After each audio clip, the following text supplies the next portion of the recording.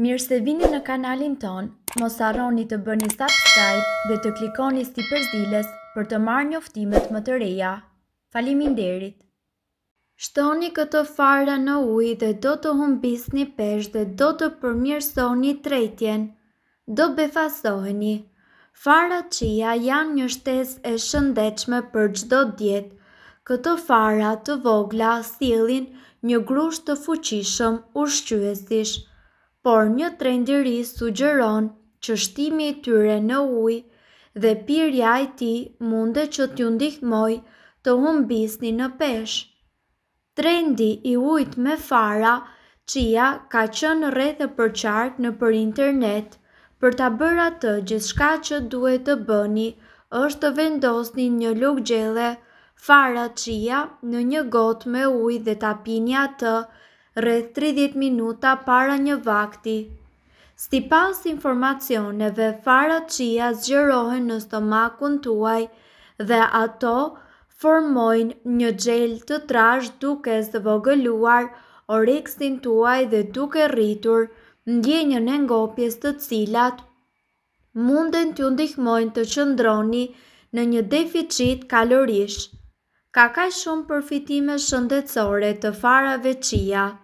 Ato janë të mbushura gjithashtu me lëndë ushqyese, duke përfshirë acide yndyrore omega tre dhe fibra dietike dhe një sasi të madhe proteine, duke i bërë ato një nga ushqimet më të çmuara të natyrës, Dhe është e vërtetë, nëse jeni duke u përpjekur për të humbur në peshë, farat chia janë një mundësi e shkëlqyeshme për t'u shtuar në vaktet tuaja ditore.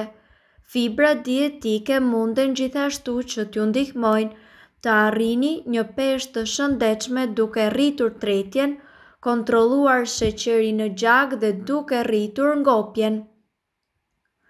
Farat e chias janë të pasura me antioksidantë dhe mikroushqyes të cilët na ndihmojnë të parandalojmë plakjen e parakohshme të lëkurës dhe mbajtjen e saj të fortë dhe elastike. Keni provuar ndonjëherë ujë me fara chia dhe limon?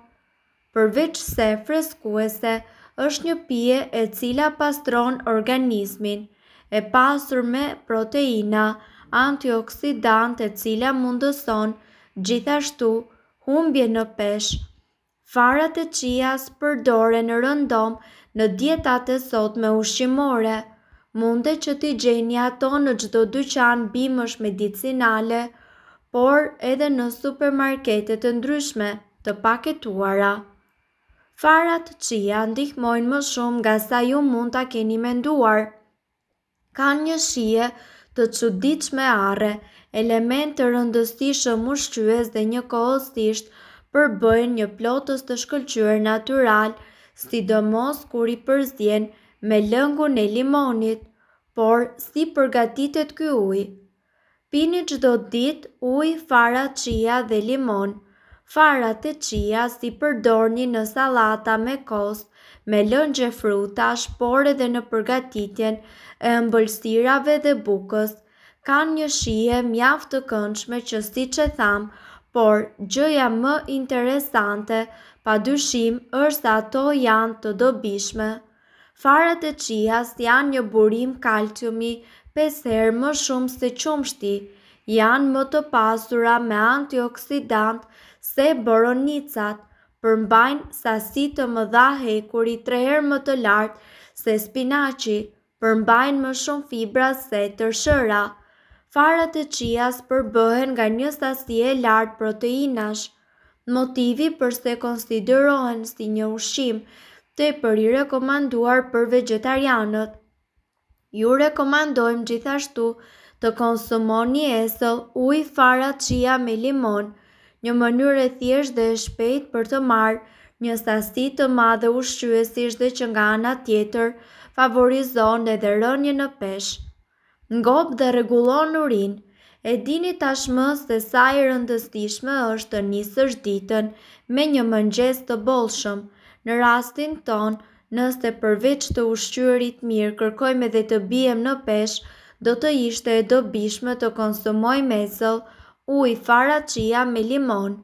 Ky ujë të ngop dhe të mundëson bashkë me vaktin e mëngjesit të ekuilibruar dhe të shumëllojtë që të mos kesh uri deri në vaktin tuaj të drekës, pa qenë nevoja të hash gjëra të tjera në mes të vakteve. Hidraton dhe njëkohësisht ushqen organizmin tuaj. Farat e chias janë të pasura me proteina dhe limoni është një burim natyral antioksidantësh dhe vitamina C. Së bashku ato veprojnë si një mekanizëm i shkëlqyer që çliron çdo energji, ushqim dhe përveç këtyre edhe hidraton. Një hidratim korrekt i organizmit mundëson për shembull shmangien e rasteve të dhimbjes të kokës dhe ndihmon në mirëfunksionimin e shumicës së organeve. Parandalon plakjen e parakohshme. Konsumi i rregullt i ujit të farave chia me limon ndihmon gjithashtu në luftën kundër atakut të radikaleve të lira dhe na mbron ne nga ndotja. nga tymi dhe nga rrezatimi diellor, falë antioksidantëve dhe mikroushqyesve të farave chia, lëkura jonë fiton fortësi dhe elasticitet duke luftuar plakjen e parakohshme e shkaktuar nga ndonjëherë nga lodhja ose nga kequshqyerja. Përmirëson tretjen, Si limoni ashtu edhe fara chia favorizojnë tretjen korrekte të ushqimeve si edhe thithjen optimale të lëndës ushqyese nga zorrët. Në këtë mënyrë të gjitha vitaminat dhe mineralet arrijnë në gjak me lehtësi dhe në mënyrë të shëndetshme.